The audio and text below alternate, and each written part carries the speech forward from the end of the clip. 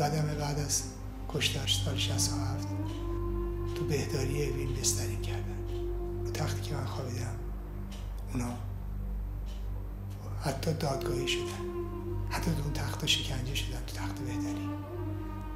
و همونجا بعدش زندانی رو میبردن و ادام می‌کردن.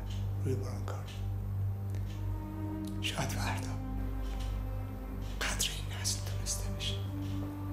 نسلی که تو سیاه ترین روزهای میانمون از همه چیش گذاشت Mr. President, distinguished members of this tribunal. In the dark summer of 1988, by tapping on the cold walls of their cells, prisoners in the Go Hartasht establishment spread the news of the arrival of the mysterious Death Commission. Today they can speak to this court without fear as the Iranian people listen and await historic justice. ببینید اسم شما به عنوان کسی که در سال 67 مسئول اعدام در زندان اوین بوده مطرح شده حالا این امکان برای شما هست که از خودتون دفاع بکنید حالا تو اعدام شدی؟ من نشدم اما اگر شده بودم که نمی‌تونستم به عنوان شاکی بیام در دادگاه شرکت کنم. تو چه تو میگی من خودم یکی از شاکی هم تو خودت الان اگه شاکی. اگه اعدام شدی تو شاکی باش. هم داری شاکی باش. خیلی خاک شده. خیلی داخل همین خاک شده.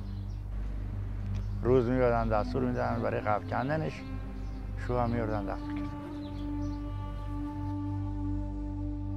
شو مثلا پنج تا چهار تا ده تا همه جوون دیگه بیشتر از 20 سال نداشتن.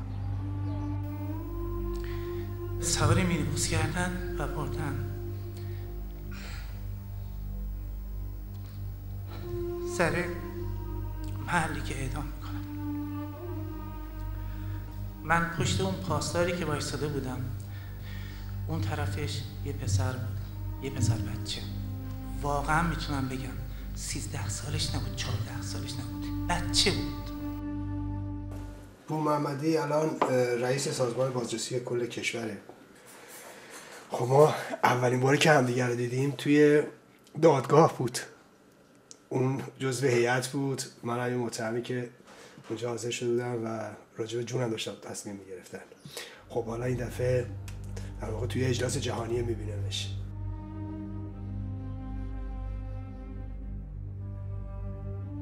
چرا یه همچین کسی که دست تو جنایت علیه بشریت داشته راحت می‌تونه بیاد تو اجلاس های بین المللی اینجا و, بره؟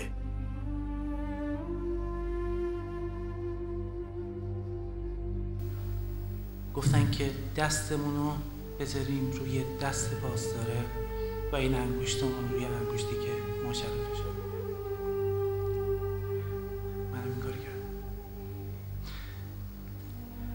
و بعد رو شلیک اومد و شلیک شد